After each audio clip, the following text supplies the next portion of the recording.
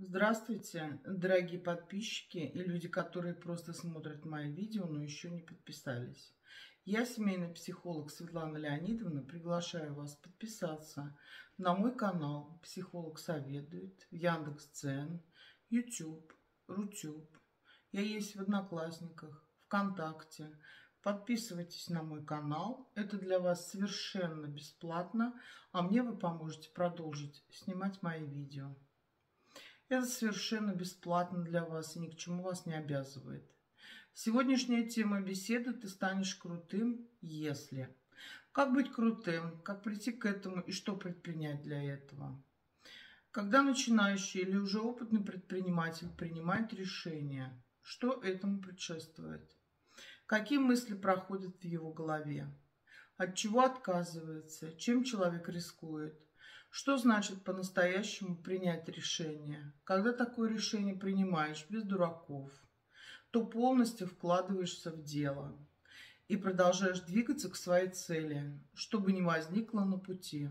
А это что-то обязательно появится. Поэтому принятие решения также важно и не для слабаков. В момент, когда становится слишком трудно или слишком дорого, или ты рискуешь выставлять себя полным придурком, ты обязательно оступишься, если не примешь решение. Если бы не неудобства, все на свете были бы по уши влюблены в свою жизнь. Мы часто притворяемся, что при, приняли это решение, когда в действительности решили лишь попытаться, э, пока не почувствуем себя неуютно. Э, и пример. Я люблю в таких случаях приводить классический. Генри Форд не осилил даже шестого класса школы. И вот он уже командует группой толковых инженеров в мире. Он полон решимости выставить себя полным идиотом и тратит огромную кучу денег и времени на доказательства невозможного. Форд был полон решимости, доверял своей интуиции, своим взглядам, которые были шире узкого узкого мышления остальных. Он принял решение, что получит свой мотор таким, как ему угодно. И ничто его в этом не остановит. Вот почему решение так важно. Представь, что у тебя есть идея, и ради нее тебе придется противостоять толпе, которая типа знает лучше тебя. И требовать, чтобы они делали то, что скажешь ты, несмотря на все имеющиеся у них против тебя доказательства. А, стал бы после этого ты стоять на своем?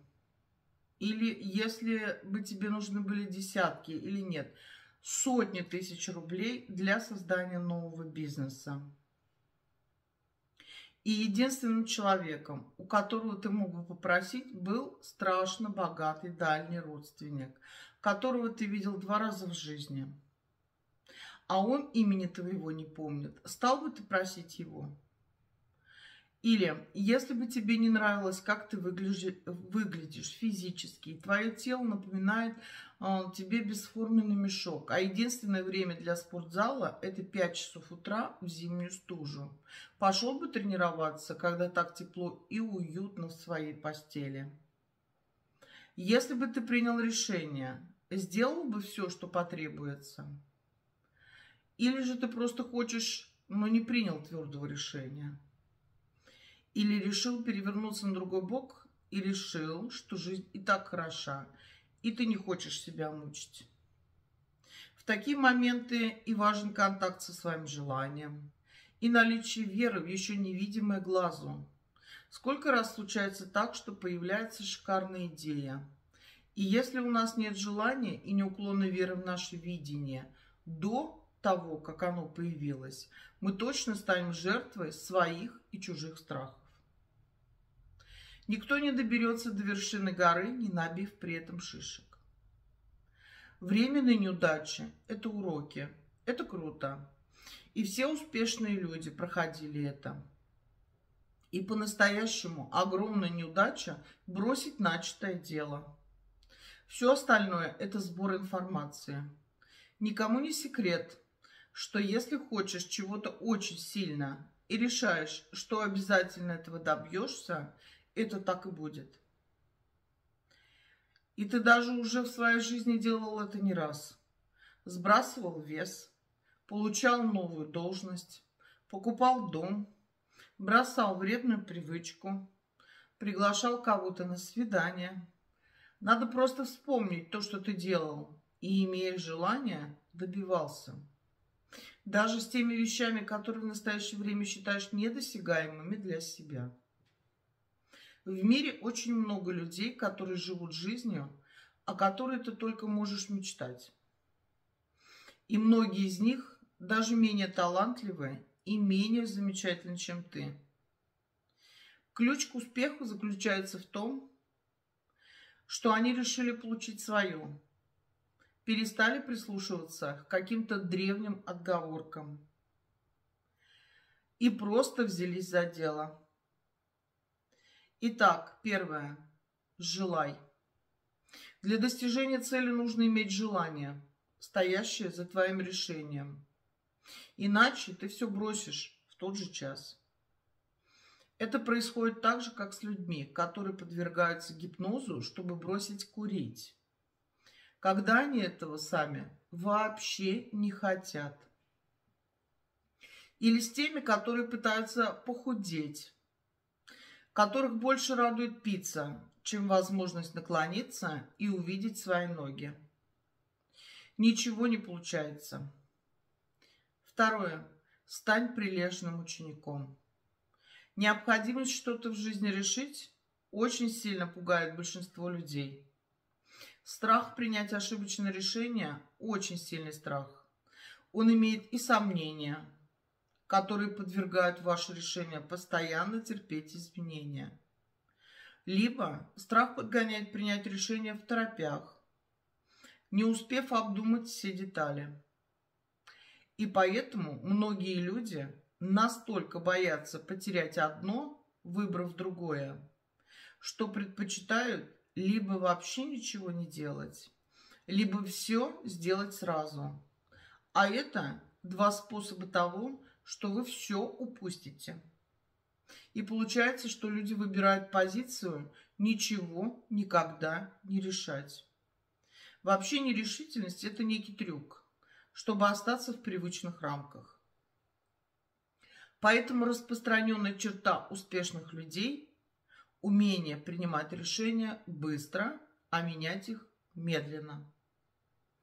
Быстро – это не одномоментно – быстро, это значит начинаешь прорабатывать процесс решения. Но если ты маятник или предпочитаешь вообще избегать решений, нужно практиковаться на мелочах, чтобы получить навык принятия решений. Кем бы ты ни был, никогда не говори, что ты не умеешь принимать решений. Убери из своего лексикона фразу «я не знаю», и замени ее на другую. Я скоро пойму, что надо сделать. Если ты решишь быть человеком, который принимает быстрые и правильные решения, ты обязательно станешь им. Решение – это не продавец на рынке. С ним не торгуются. Тот, кто не решил быть крутым, навсегда останется в прошлом. Постоянно обдумывай новое, и тогда ты не останешься в прошлом. Никогда не думай отступать, и тогда движение вперед тебе обеспечено. Когда я по роду своей деятельности часто общаюсь с успешными людьми, предпринимателями, с лучшей точки зрения предпринимательства, с богатыми людьми. И когда я спрашиваю этих уважаемых людей – в чем их секрет успеха? Каждый из них, беседуя со мной, приходил к ответу в стойкости. В том, чтобы защищать идею, бизнес до последнего, в изнурительной борьбе преодолевать препятствия, отбрасывать страхи и сомнения. И тогда то, что желается, точно будет. Чтобы начать новую и успешную жизнь, нужно иметь веру в себя, в чудеса, в мечту. Эта вера должна вырасти из надежды побороть страх. Нужно помнить или заставить себя осознать и поверить, что тебе доступны все опции счастливой жизни.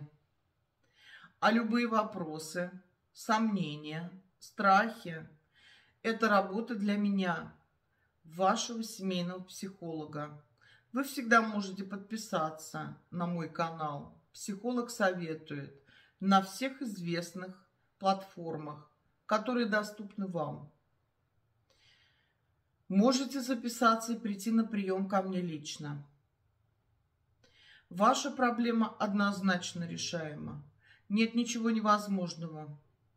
И то, что сейчас кажется чудом, завтра станет вашей привычной жизнью. Я желаю вам физического и психологического здоровья. С вами я, ваш психолог Светлана Леонидовна. Всего вам самого доброго и удачи!